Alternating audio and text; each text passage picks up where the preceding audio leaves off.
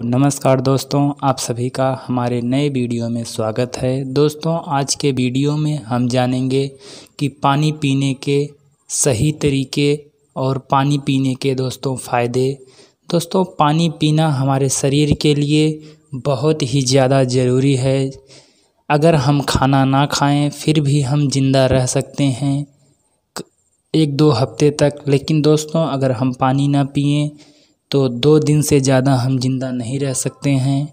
तो दोस्तों, ऐसे ही वीडियो को लास्ट तक देखिए देखते रहिए। और आज हम जानेंगे कि पानी पीने के किस तरीके से फ़ायदे हमारे शरीर को हैं। दोस्तों, पानी अगर हम सही मात्रा में और सही तरीके से पिएँ तो हमारे शरीर को यह बहुत ही फ़ायदेमंद है। दोस्तों, पानी पीने के सही तरीके यह है कि पानी पीते समय आप कभी भी ऊपर से हम लोग क्या करते हैं दोस्तों, पानी पीते समय हम लोग खड़े होकर ऊपर से पानी बाटल से पीते हैं। तो दोस्तों, पानी पीने का यह बहुत ही गंदा और बहुत ही गलत तरीका है। अगर आप ऊपर से पानी पीते हैं, मुँह लगाकर ग्लास से पानी नहीं पीते हैं तो दोस्तों, इससे अगर ऊपर से पीने के बाद आपने नोटिस किया होगा कि ऊपर से पानी पीने के बाद हमारे, हमको, हमारे पेट में गैस बनने लगती है, जिससे हमें पेट दर्द की प्रॉब्लम बहुत ही ज़्यादा मात्रा में हो जाती है।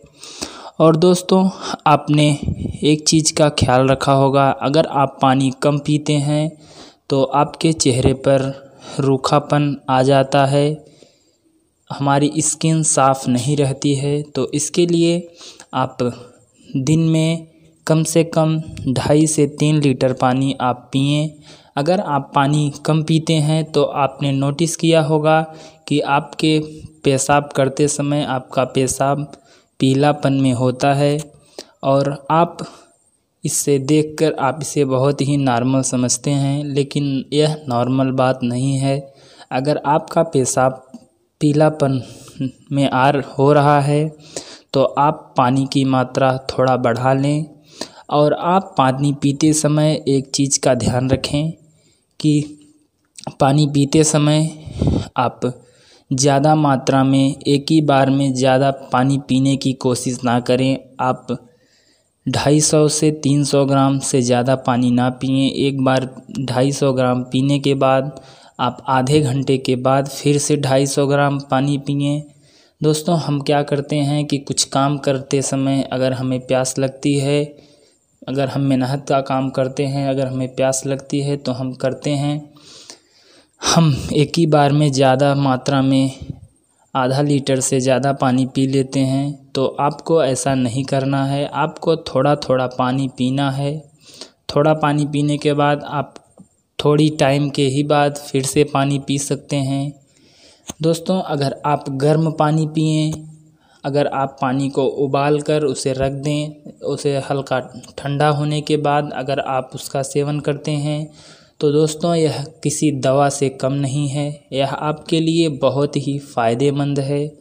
आप इसे आप बहुत ही आसानी से पी सकते हैं और गर्म गर्म पानी पीने के आप समझ लीजिए दोस्तों, अगर आपको पेट की प्रॉब्लम है, आपके खाने को अच्छे से नहीं पच पा रहा है तो आप इसे पानी को पिए।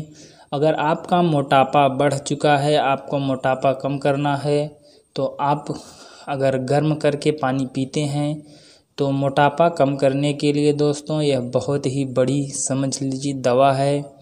इसे आप आपको करना कुछ नहीं है, आपको एक पतीले में पानी रख कर उसे गुनगुना कर लें। पानी जब उबल जाए दोस्तों तो उसे फिर आप रख दें। जब ठंडा हो जाए तो आप उसे पी सकते हैं। बहुत ही आसानी से पिए।